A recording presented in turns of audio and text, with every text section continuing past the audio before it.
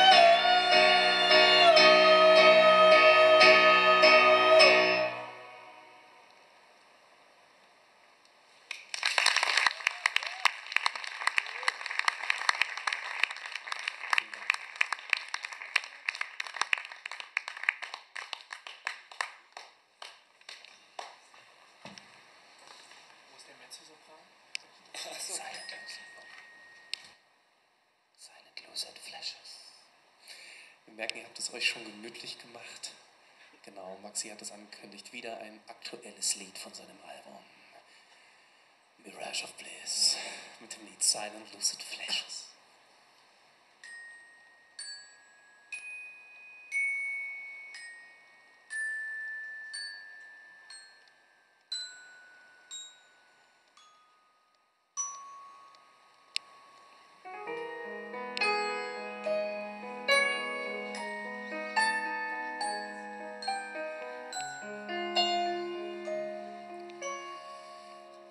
Oh.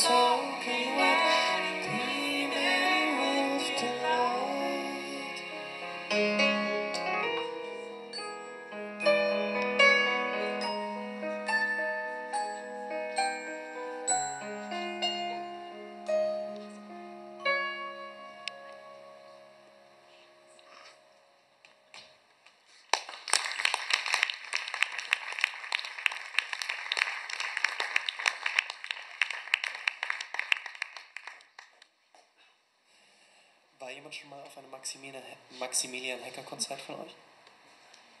Ihr wart schon. Ja, es sind doch ein paar. Dann kennt ihr vielleicht auch das zweite Album von ihm, Rose heißt es. Ich habe es 2003 kennengelernt, da habe ich Maximilian kennengelernt, er kannte mich noch nicht.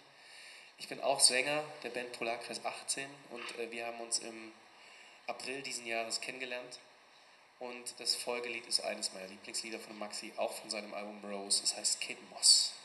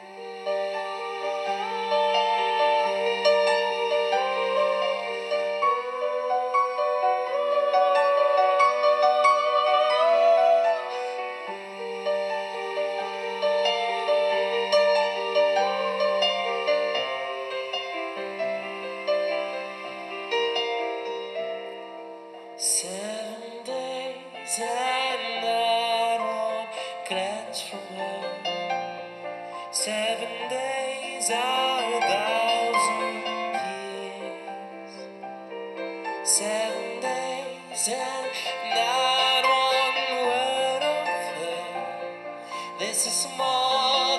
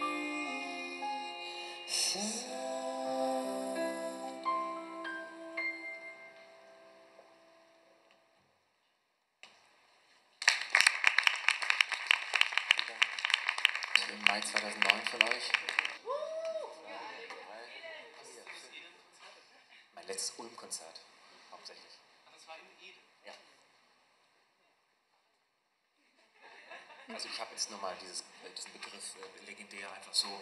Ich kann das natürlich selber nicht einschätzen.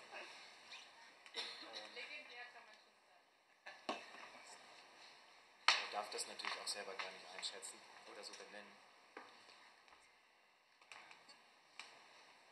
Also ich bin heute das erste Mal in Ulm und ich bin sehr beeindruckt von eurer Stadt. Also, wahnsinnig schön auf jeden Fall. Mittelalterlich. Und ich muss sagen, ich bin auch sehr verwöhnt. Ich komme eigentlich aus Dresden, ist auch eine wundervolle Stadt, aber besonders beeindruckt hat mich natürlich die Tatsache, dass hier angeblich der höchste Kirchturm der Welt stehen soll. Ist das richtig? Ja? Ich war nämlich heute lustigerweise noch kurz äh, in der Apotheke und habe das der Apothekerin erzählt und die wusste das gar nicht. Obwohl sie aus Ulm kommt. Deshalb war ich mir jetzt nicht mehr ganz so sicher. Ähm, aber vielleicht äh, macht es denn, lohnt es sich denn da reinzugehen in diese Kirche? Ist sie, ja, also sollte man sich mal angucken? Ja. Dann werden wir das auf jeden Fall tun. Und was mich auch sehr beeindruckt hat, waren diese Häuser hier in der Mitte der Stadt, also quasi direkt hier so in diesem Areal, die so extrem hohe Dächer haben, dass da quasi nochmal drei oder vier Stockwerke nur im Dach waren. Wisst ihr, wie das kommt? Also waren das so Speicher früher oder? Wisst ihr, was ich meine? So, so ganz, ganz alte Häuser aus dem Mittelalter und die hatten dann, das Dach hat, fängt relativ niedrig an und es geht dann wirklich sehr, sehr weit hoch und da sind dann nochmal so drei, vier Stockwerke in diesem Dach quasi noch so drin. So kleine Fensterchen da so reingebaut. Kennt jemand? Ja, wahrscheinlich schon. Oder auch nicht. Vielleicht meine ich doch die falsche Stadt. Nee, also es war schon hier.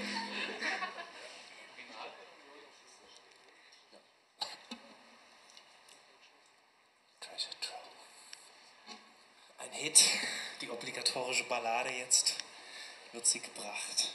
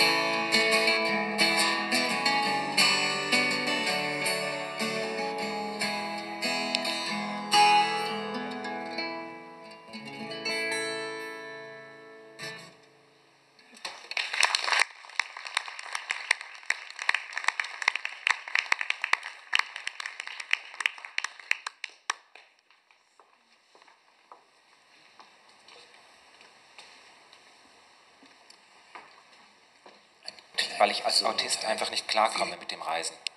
Ich vermisse Struktur, Routine, wünsche mir jeden Tag wahlweise Donald Duck oder Fred Feuerstein Teller, bekomme aber meist nur Verwirrendes serviert. Gleichzeitig merke ich, dass Leiden auf gesponserten Welttourneen weder en vogue ist, noch man sich damit Freunde macht. Ich werde schnell zum Unverstandenen und zudem die anderen Tourteilnehmer mit Provinzpingeligkeit provin provozierenden Sonderling, der sich rechtfertigen muss, warum das schnöde und unvermeidliche Man selbst sein, in beispielsweise Buenos Aires, Madrid oder Paris, nicht cooler, aufregender oder weltmännischer ist, sondern genauso chaotisch, beknackt oder wackelig wie in Tuttlingen.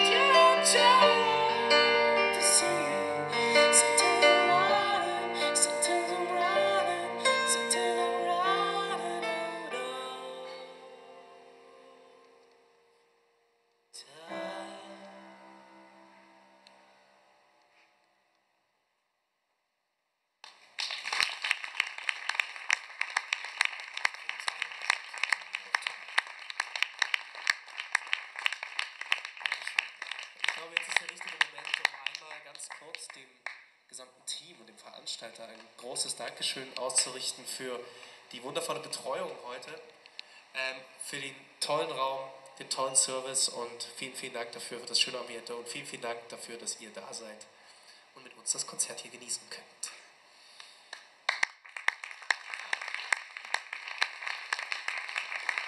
Eine ganz kurze Durchsage zum Licht. Ähm, ich habe vergessen, einen Song einzutragen in die Liste. Wir sind jetzt ähm, quasi, wir gehen noch einen zurück, wir sind jetzt nochmal bei dem Rot quasi, bei Snow White. sind wir noch.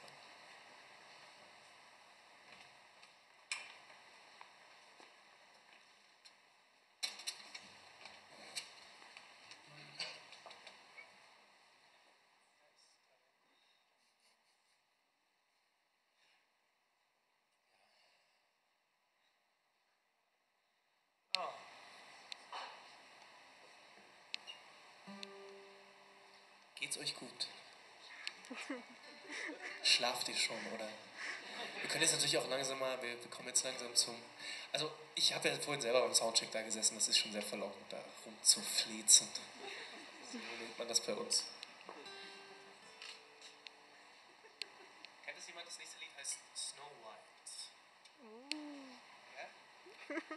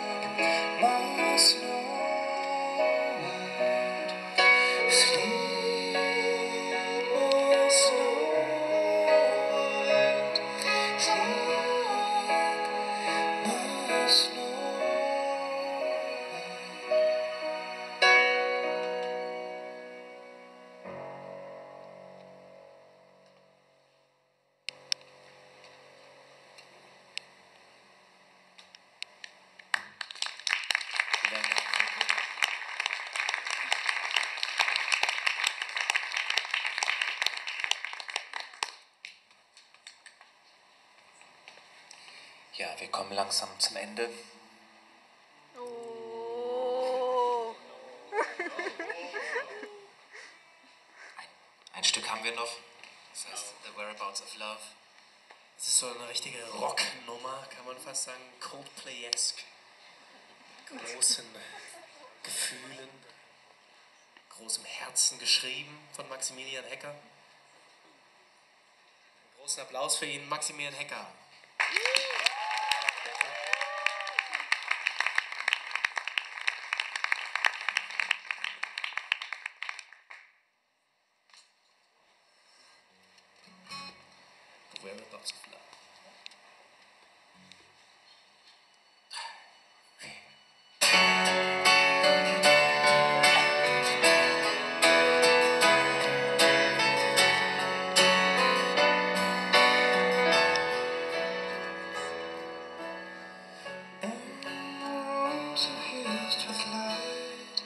spent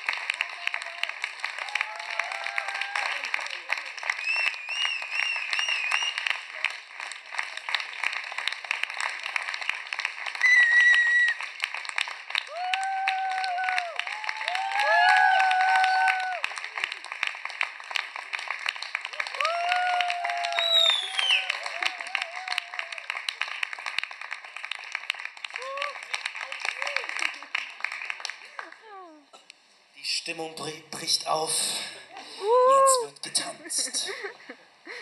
Kannst du den Drumcomputer anschalten?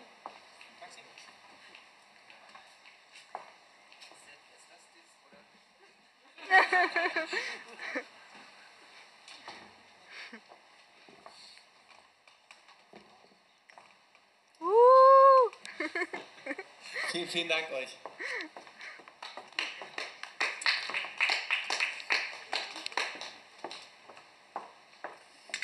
Tauschen die Plätze, damit ihr einschätzen könnt, wer an den jeweiligen Disziplinen besser ist, wer besser aussieht in der jeweiligen Haltung.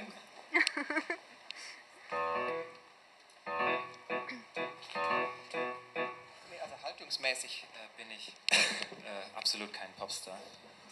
Das dürfte vielleicht klar geworden sein. aber ich bin eher der Kauerer. Aber dafür von seinen Erlebnissen, hat man ja vorhin gerade gehört, ne? Das erleben wir ja eigentlich täglich auf unserer Tour. Pop Heute mit. Doppel-P oder was? Ja, dann kommt's hin. Was meinst du? Pop mit Doppel-P, das kommt hin. Aber Ja, das, Wird ja heute Abend in Ulm auch noch kräftig gefeiert hier. Wo geht man also? Geht der jetzt noch aus? Oder heute ist Wochenende, oder? zu Ende. Zu Ende. Morgen geht's wieder, geht's wieder los. Shit. Naja, gut, dann ähm, können wir das ja auf nächstes Wochenende dann vertagen. ja, manchmal, wenn man in Berlin ähm, dienstags, vormittags am Domains vorbeikommt, nee, Dunkin' Donuts, wie heißt es nochmal? Hardy, wie heißt es nochmal? Delicious Donuts. Da fragt man sich, was machen die vor der Tür? Die sind so nervös und haben ein halb volles Bier in der Hand. Und irgendwann fällt mir dann ein, die sind, also die sind beim Ausgehen gerade. Die wollen weiterhin in die Disco. Und die, die Disco Wir verabschieden uns von euch. Maximilian Hecker an meiner Seite. und Felix Räumer.